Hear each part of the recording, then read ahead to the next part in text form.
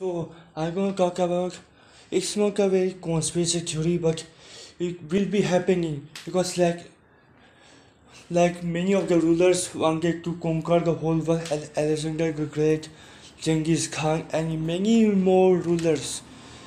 Like, the like same thing. All the characteristics attributes are same in every planet. You like I can go any planet like aliens like us. Get greedy, corruption will be there.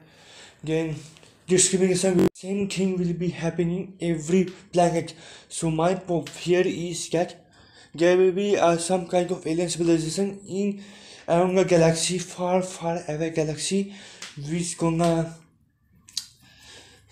have already conquered the whole world of their planet.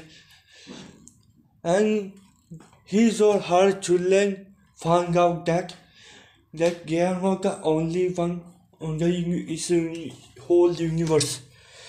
So they plan to conquer the whole universe and capture or conquer all the living beings like us, like human beings. We are intelligent. We are being building up technology.